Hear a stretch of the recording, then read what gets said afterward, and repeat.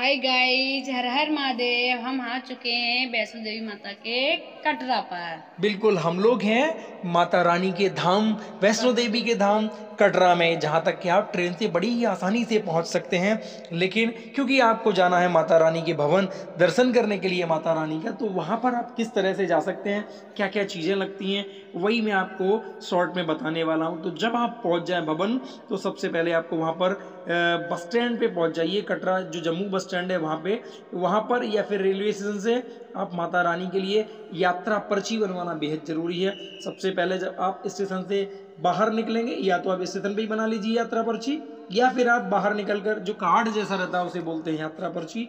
तो आप bus stand पे जाकर भी यात्रा पर्ची को तैयार कर सकते हैं। वहाँ का जो दृश्य है एकदम मनोहारी आपको लगने वाला है क्योंकि जब आप माता रानी के दर्शन करने जा रहे हैं तो इसका मतलब ही यही होता है कि आप बड़े ही पुण्यवान हैं तभी तो माता रानी ने आपको वहाँ पर बुलाया है। नहीं तो माता रानी हर किसी को वहाँ पर बुलाने का मौका नहीं, नहीं देती ये जो सामने पहाड़ नज़र आ रहे हैं इसी पर है माता रानी वैष्णो देवी का धाम। जब आप रात में देखेंगे तो ये नज़ारा कुछ इस तरह से लाइटों से लैस नज़र आएगा। अभी हम लोग आ गए हैं जम्मू बस स्टैंड पे, जहाँ के पास में ही ये यात्रा पर्ची के काउंटर हैं, जहाँ पे समय लिखा हुआ है। इस समय पर आकर आप अपनी यात्रा पर्ची बनवा सकते हैं। प्रसाद का भी लाभ यहाँ से आप ले सकते हैं। और उसके बाद आपको क्या करना है? आपको अपनी यात्रा पर्ची लेके निकल जाना है बाण गंगा की ओर। बाण गंगा जहाँ से कि माता रानी की यात्रा प्रारंभ होती है।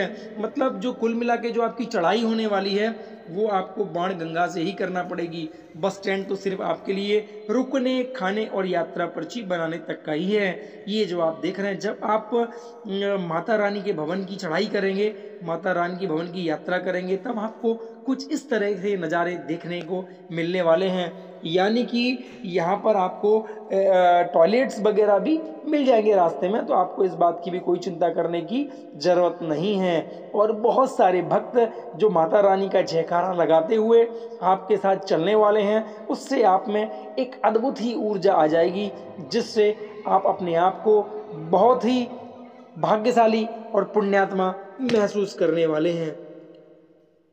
ये जो आप सामने देख रहे हैं, ये माता रानी का भवन है, जो कि जब आप चढ़ाई करेंगे माता रानी के भवन के लिए। तो इस तरह से कुछ दिखने वाला है। जब आप भवन पे पहुँच जाएँगे तो वहाँ पर ये डोरमेट्री वाला होटल भी आप ले सकते हैं। खाना खाने के लिए नीचे बेस पे कैंटीन है।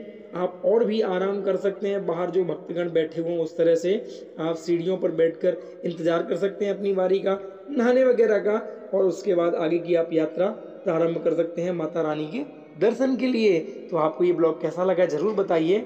और हमारे चैनल को प्लीज़ सब्सक्राइब ज़रूर कर लीजिए कर लीजिए। यदि आपको अच्छा लगे तो आप सभी भक्तों के लिए जय माता दी। हर हर महादेव।